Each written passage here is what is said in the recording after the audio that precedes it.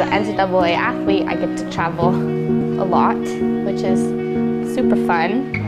But I'm also not a very big fan of flying. It actually really gives me a lot of anxiety. So I wouldn't call traveling my favorite part by Let's any have means. conversations in the dark. World is sleeping, I'm awake with you. With you. And you say that you're